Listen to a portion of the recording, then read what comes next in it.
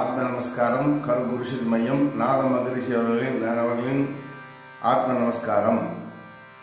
எல்லா சித்தர்களும் எல்லா யோகிகளும் எல்லா ஞானிகளும் எல்லா அல்லாதர்களும் தான் பெற்ற அக அனுபவத்தை பாடல் எழுதிட்டாங்க அந்த பாட்டு பாட்டோட விளக்கம் அந்த நிலையை அடைந்தார் என்று அடைஞ்சிட்டேன் அப்படின்னு சொல்றதுக்கு எனக்கு தெரிஞ்ச இந்த உலகத்தை இந்த தேதி வரையில் பத்து எட்டு ரெண்டாயிரத்தி இருபத்தி மூணு வரையில் எனக்கு தெரிஞ்ச ஆள் இல்லை.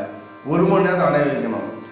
என் குருவை தவிர என்னை தவிர யாரும் இந்த உலகத்தில் இல்லை. அப்படி இருந்தால் அவங்களே ஞான குரு. சரிங்களா? கவனிங்க. நடுவில் நின்றாருக்கன்று ஞானம் இல்லை. நடுவில் நின்றார்க்கு நரகம் இல்லை. நடுவில் நின்றார் நல்ல தேவரும் ஆவர். நடுவில் நின்றார் கார்முகில் வண்ணன். நடுவில் நின்றார் நான்மறை ஓதி பிரம்மா. நடுவில் நின்றார் சில ஞானி ஆவர். ஆனர். நடுவு நின்றாலும் நானும் நின்றேனேங்கிற நடுவுனா என்ன சார்? அப்படின்னா தாய் நிமித்த கர்ப்பப்பையில உள்ள இருக்கிறவர்களும் நடு நடு நைன்டி டிகிரி தொப்புள்குடியிலிருந்து தலை உச்சியோடு சுவாசம் ஓடிக்கிட்டு அதான் நடுன்னு பேருங்க. இப்ப தொப்புள் அடுத்து முடிச்சு போட்டோம்னா சூரிய சந்திரகளை பிரிஞ்சிருச்சு.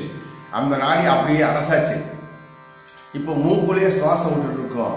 மூக்குள்ளேயே விடக்கூடிய சுவாசத்தை நிப்பாட்டி அந்த நடுநாடி வழியாக சதா இருபத்தி நாலு மணி நேரமும் யார் ஓட செய்கிறார்களோ அவர்களுக்கு தான் ஞானம் கிடைக்கும். வேற யாரும் கிடைக்காது. அப்படி இருந்தால் உங்களுக்கு நரகம் இல்லை. அப்படி இருக்கவர் தேவர்கள். அப்படி இருப்பவர் பெருமாள். அப்படி இருப்பவர் பிரம்மா. அப்படி இருந்த சில ஞானி ஆனாங்க அதுபோல் நானும் ஆனேனே என்று திருமூல சொல்றார். அந்த பாட்டோட விளக்கத்தை ஒரு மணி நேரத்தில் சூரியனை சந்திரனை அடங்க செய்து நடுவு நாடியிலேயே இருபத்தி நாலு மணி நேரமும் ஒரு மணி நேரத்தில் உங்களை அடைய செய்ய வைப்பது இந்த உலகில் ஆதிநாத வாசு வித்தியால் மட்டும்தான் முடியும் முடியும் முடியும். அதை எந்த யோகத்தால் முடியாது என்பதை உறுதியாக கூறுகிறேன். கரு குருஷத்து மையம் வெறும் கரு குருஷத்து மையம் எழுநூத்தி தொண்ணூறு நானூத்தி அறுபத்தி மூணு எண்பது எழுபத்தி ஒன்பது சகல சௌபாக்கியம் பெறுக.